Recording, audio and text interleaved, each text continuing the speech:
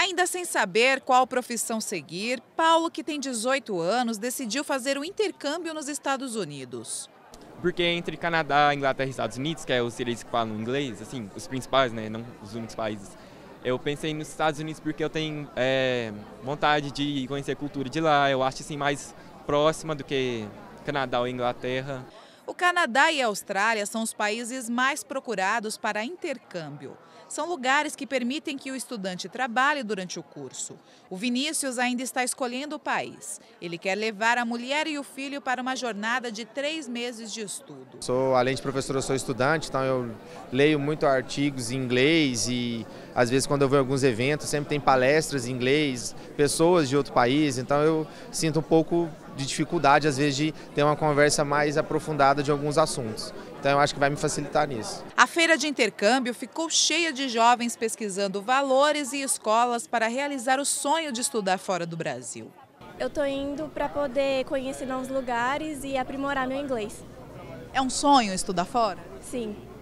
Segundo a Associação Brasileira de Agências de Intercâmbio, o mercado de educação estrangeira cresceu 23% em 2017. Foram mais de 300 mil pessoas viajando para fora do Brasil para estudar. O curso de idioma é o mais procurado e a qualidade de vida o principal motivo apontado pelos estudantes.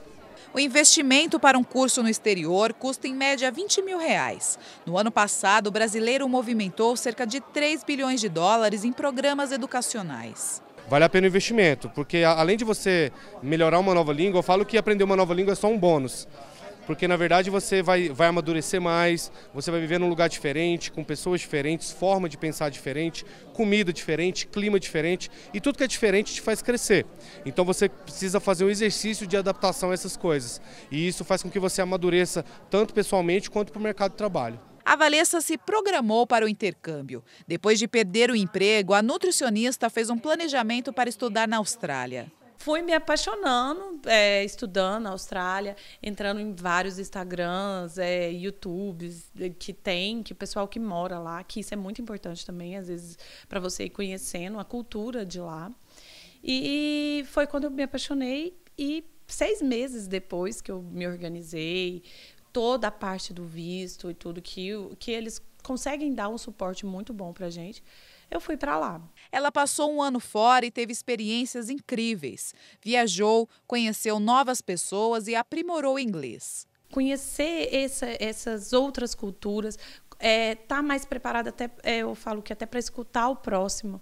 É, as amizades que eu fiz lá, é, se a gente for para pensar, são, são de curto prazo, mas são amizades é, que são fortes, porque, querendo ou não, eles estão passando as mesmas situações que a gente. Então, é muito enriquecedor. E a Valessa já está com as malas prontas para voltar para a Austrália. Essa foi só uma visitinha? Sim, eu vim passar um mês aqui, é, vim de surpresa, inclusive, sustei minha família toda. É, mas está sendo ótimo passar esse tempinho com, com eles. Eu, eu faço tudo para estar com eles o tempo todo.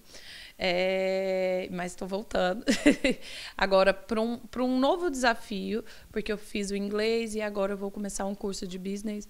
Então, assim, é um novo desafio, é um novo, é um recomeço de novo. É como se eu estivesse fazendo um outro intercâmbio. E cada dia lá é um aprendizado diferente. Então, é o que vale a pena.